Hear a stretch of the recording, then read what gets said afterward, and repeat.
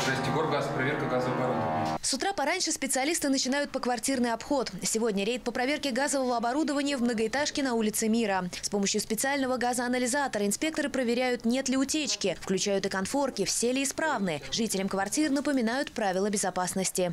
При запуске газа перекрыть газовые приборы, проветрить помещение и вызвать 04. Кроме того, газовщики проверяют вентиляцию. Она тоже должна быть в квартире, причем в свободном доступе. Далее опрос жильцов. Есть ли жалобы на газовое оборудование? Знают ли люди, как избежать беды? В конце ноября во Владимирской области произошли сразу две трагедии, связанные с утечкой бытового газа. В деревне Чуприяново Петушинского района из-за отравления угарным газом погибли четыре человека. По версии следствия, причиной утечки мог стать несанкционированный ремонт газового котла. В поселке Барсово Киржачского района на территории военного городка в результате взрыва газа обрушилась часть двухэтажного жилого дома. Два человека получили травмы, еще одна пожилая женщина погибла. По предварительной версии, причиной могла стать незакрытая конфорка. Человеческая беспечность, к сожалению, часто приводит к подобным трагедиям. Чаще какая еще бывает проблема, что оставляют готовящуюся еду без присмотра, да, то есть а, все в порядке, газ работает, да, то есть оставили еду, соответственно, там выкипела вода, еще что-то, газ, а, газ не выходит, а, вернее, огонь потух, но газ тем временем выходит. И опять-таки может произойти э, чрезвычайная ситуация. И бывает, что оставляют, допустим,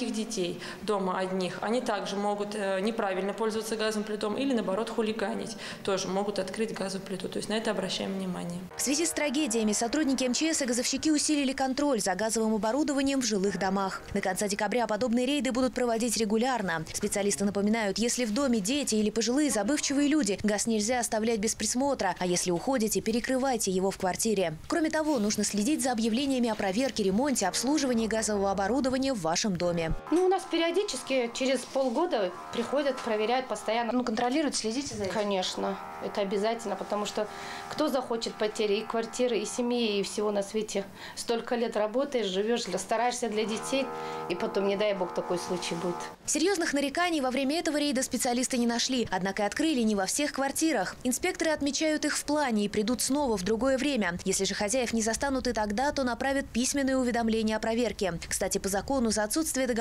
на обслуживание газового оборудования и недопуск специалистов для проверки собственник квартиры может быть оштрафован на сумму до 2000 рублей. Маргарита Махрова, Александр Мажаров, Шестой канал.